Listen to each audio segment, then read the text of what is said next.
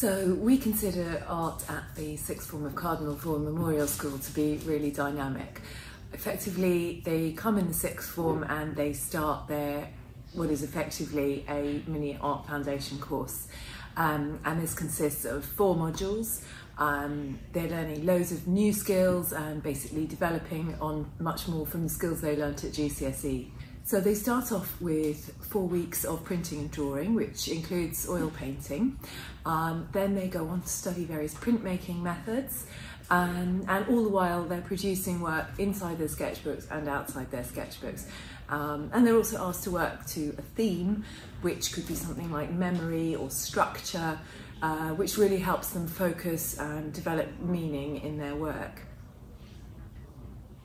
They next have the chance to uh, investigate photography and film and animation um, and Photoshop as well. We have Adobe Creative Suites because we believe that it's really important to get them using industry standard software um, and so that they can hit the ground running when they eventually get to the university or to the job market. They also have a sculpture module uh, where they are lucky enough to try uh, plaster casting, assemblage, ceramics, we have a kiln, um, and they also get the chance to work collaboratively as well on something, and we look at installation art too.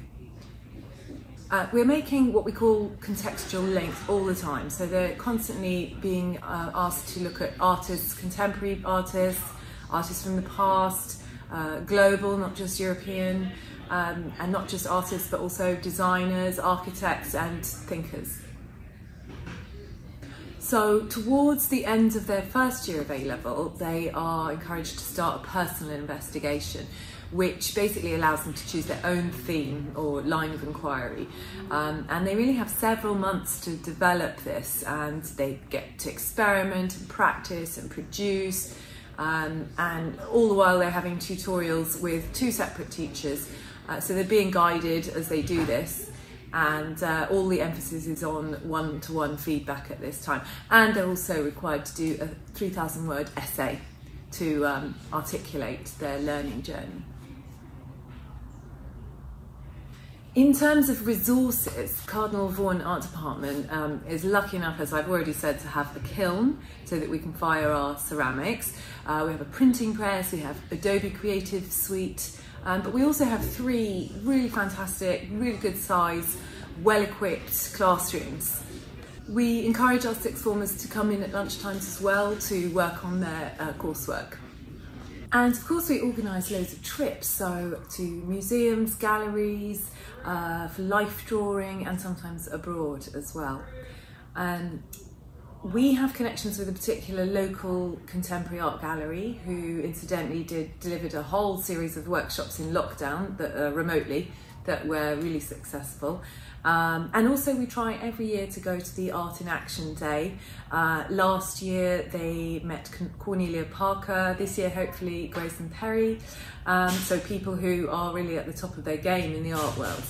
But we also believe that we have the mindset that if you're choosing art, we're nurturing the ability to think creatively uh, and originally, um, to develop your critical thinking, um, which is why it's such an important subject for whatever choice of career the students end up choosing.